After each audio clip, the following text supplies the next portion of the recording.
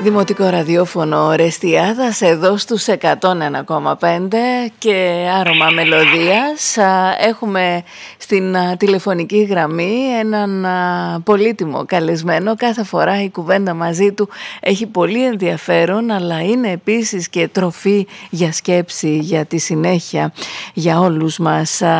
Ο ψυχολόγος Στράτος Βραχιόλιας είναι στην άλλη πλευρά του τηλεφώνου, στην άλλη πλευρά της γραμμής. Κύριε ε, Βραχιόλια, καλώς ορίσατε. Καλή σας μέρα κύριε Πατρακίδου, καλημέρα σε όλο το Βόρειο Εύρο και ιδιαίτερα στην Ορεστιάδα. Να είστε καλά.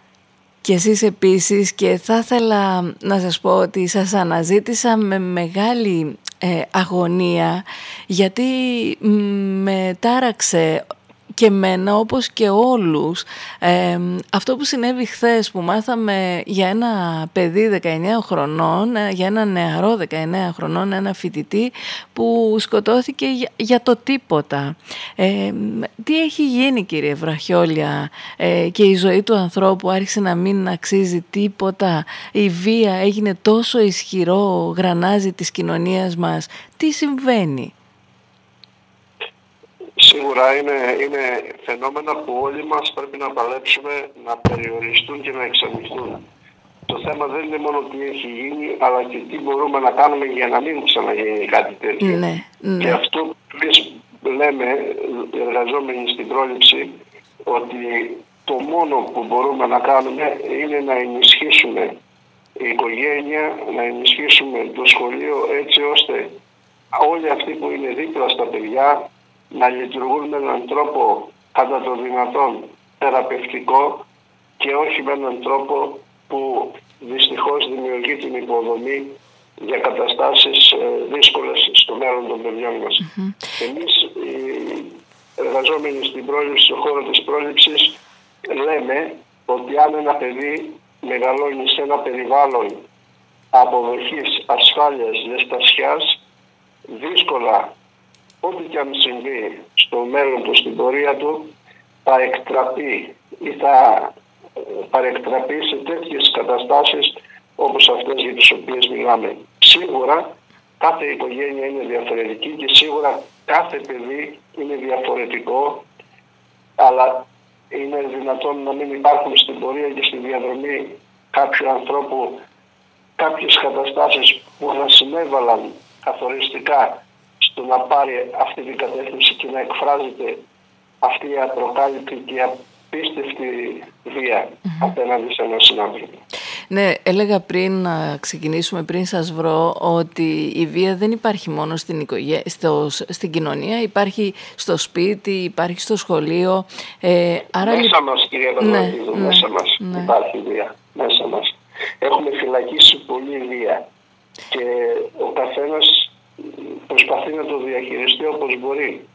Άλλος ε, αυτό το θυμό που παίρνουμε από τα ερεθίσματα τα κοινωνικά, τα ψυχολογικά που βιώνουμε γύρω μας, όλες αυτές οι καταστάσεις στην περιεραίουσα ατμόσφαιρα σίγουρα δημιουργούν μια υποδομή ψυχολογική όπως ένας σεισμός που αν σε βρει χωρίς θεμέλια, χωρίς ε, έτσι, κάποιες σταθερές δημιουργεί πολύ δυσάρεστες καταστάσεις. Έτσι και όλη αυτή η κατάσταση που ζούμε που περιόρισε πολύ τις επιλογές μας, τις επαφές μας, τις σχέσεις μας, μας πυροβολεί δηλαδή στο ψυχικό ανοσοποιητικό μας σύστημα, όχι μόνο στο ανοσοποιητικό σύστημα του σώματος, τότε είμαστε ευάλωτοι και εκτεθειμένοι.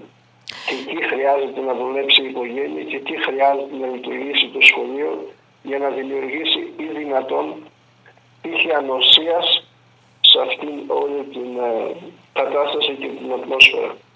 Είδα κύριε Βραχιόλη ότι ξεκινάτε και πάλι τις σχολές γονέων οι οποίες όπως μου έχετε γράψει λειτουργούν προληπτικά για την οικογένεια σε, φαινόμενα ανάλογα όπως της βίας αλλά και άλλες δυσκολίες που συναντάει ε, το κάθε σπίτι.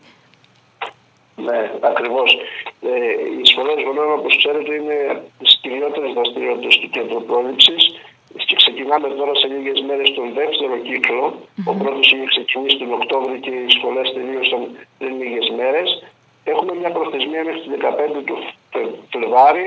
Οι γονείς μπορεί να δηλώνουν συμμετοχή στο τηλέφωνο του κέντρου πρόληψης το 2551 242.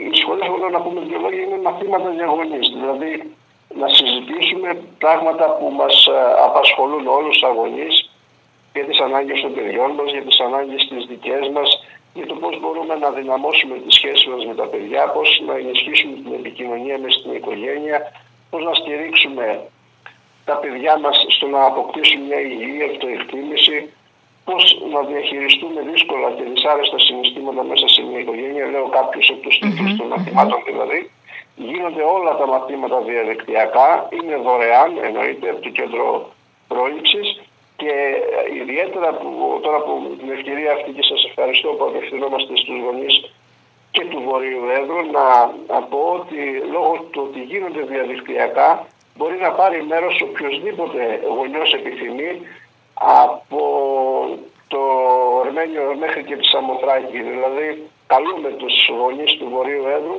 αν έχουν το σχετικό ενδιαφέρον να ανταποκριθούν σε αυτό το κάλεσμά μας.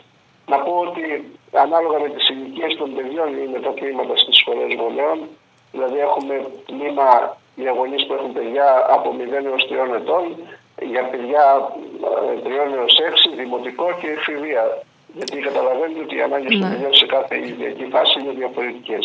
Και είναι, είναι σημαντικό. Δηλαδή, απευθύνω το σταθμό σας σε όλους τους γονείς που μας ακούν και του Βορείου Εύρου να δηλώσουν συμμετοχή, να πάρουν μέρος σε αυτή την εμπειρία.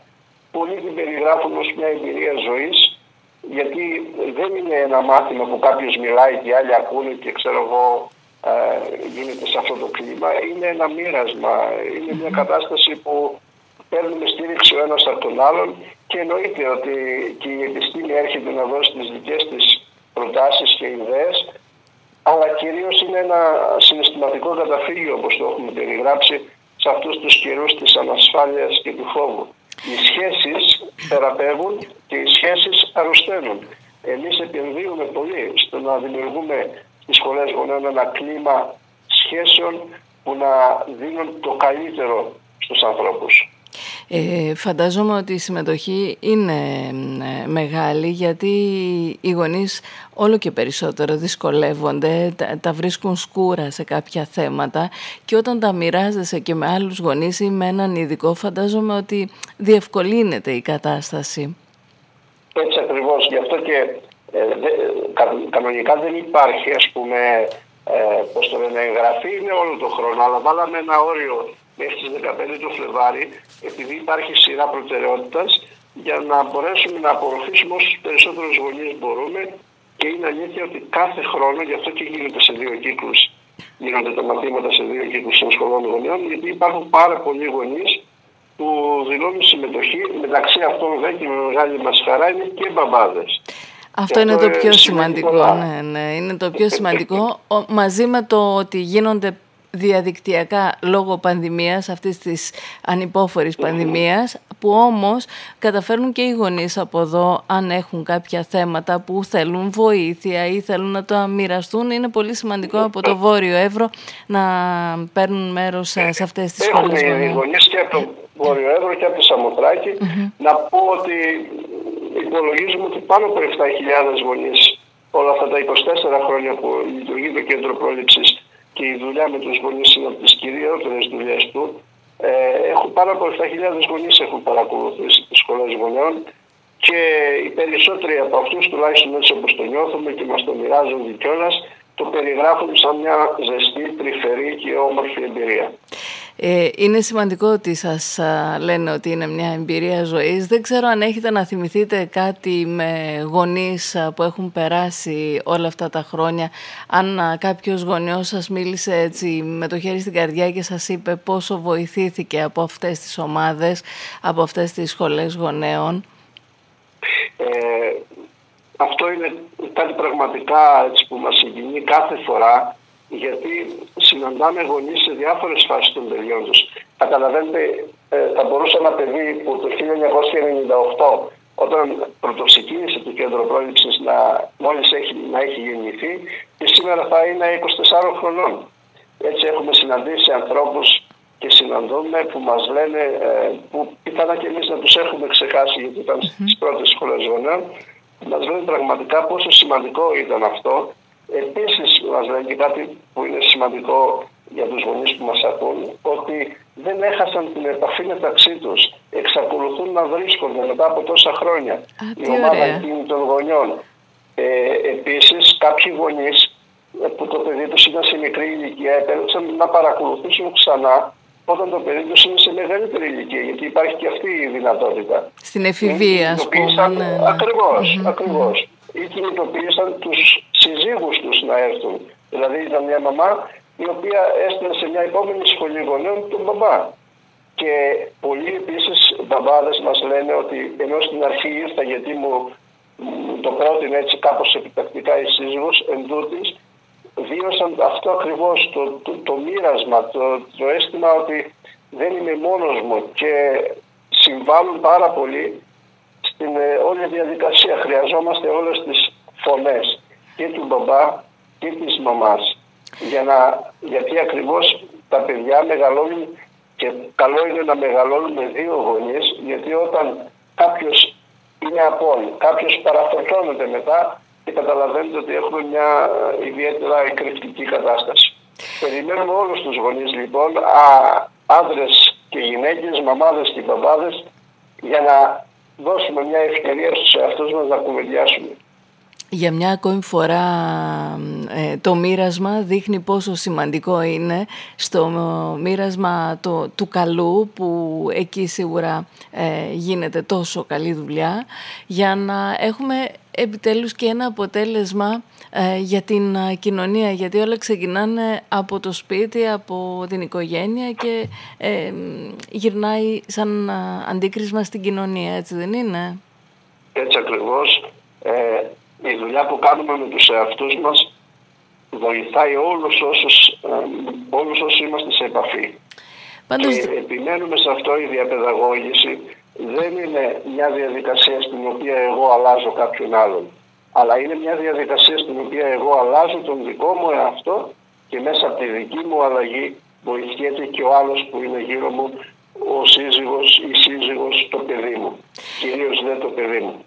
Πάντως, να σας πω την αλήθεια, χθες όταν άκουσα την είδηση ότι έφυγε από τη ζωή ένας νέος 19 ετών από τα χέρια ενός άλλου, έτσι για το τίποτα, από, για, για ομαδικό, ε, για ομάδες, σκέφτηκα πώς μπορεί ένα παιδί να καταλάβει ότι η πραγματικότητα είναι το να είναι φίλαθλος, να μην ακολουθεί, να μην είναι οπαδός, να μην...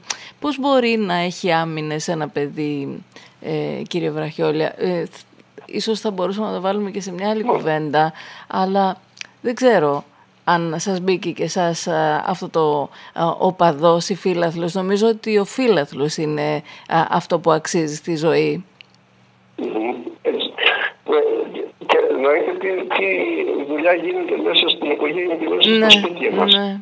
Θυμάμαι σε κάθε αντίστοιχη περίπτωση και εύχομαι να είναι τελευταία αυτή τα λόγια που είχε πει ε, στην ε, δολοφονία του νεαρού Γρηγορόπουλου ε, παλιότερα αρχιεπίσκοπος όταν τον ρώτησαν ο Ιερώνυμος, όταν τον ρώτησαν πώς νιώθετε. Και είχε πει, νιώθω λέει τον πόνο του πατέρα που το ένα του παιδί σκότωσε ένα άλλο. Ναι. Είναι αλήθεια ότι είναι πολύ νοπόχη, τα συναισθήματά μας είναι πολύ έντονα να σπεύσουμε, να καταδικάσουμε τον θήτη και πράγματι η πράξη αυτή δεν δικαιολογείται με κανέναν τρόπο. Όμως αν φαντάζομαι φωτίσουμε, δεν έχω καθόλου εικόνα, αλλά γύρω από αυτό το παιδί και στην ιστορία αυτού του ανθρώπου θα υπάρξουν σίγουρα ελλείμματα, δυσκολίες και για να φτάσουμε εδώ που φτάσαμε που πρέπει να ευχηθούμε να είναι το τελευταιο Σίγουρα αυτός ο θυμός από κάπου προέρχεται, δεν βγαίνει έτσι ξαφνικά, έτσι δεν είναι αυτό που λέτε; Έτσι, έτσι ακριβώς. Ε... Ας ελπίσουμε να είναι αφορμή η αποτρόπαια αυτή η πράξη να, να κινητοποιηθούν όλοι μας. Ε, να, να, να ταρακουνηθούμε. Να παρουσία μέσα στα ναι. σπίτια μας. Ναι. Γιατί έχουμε συνηθίσει μια κατάσταση η οποία δυστυχώς δεν έχει παρουσία. Δηλαδή μπορεί να είμαστε μαζί, αλλά να μην είμαστε μαζί. Να μην υπάρχει σύνδεση. Οι άνθρωποι είμαστε γεννημένοι να είμαστε συνδεδεμένοι με τους άλλους. Δυστυχώς όμως στι μέρες μας το βλέπουμε πολύ έντονα αυτό και οι οθόνες είναι πολύ μεγάλη πειρασμή για όλο αυτό. Υπάρχουμε στον ίδιο χώρο, αλλά δεν είμαστε σε σύνδεση, είμαστε αποσυνδεδεμένοι. Και αυτό έχει τραγικές συνέπειες για την εξέλιξή μας.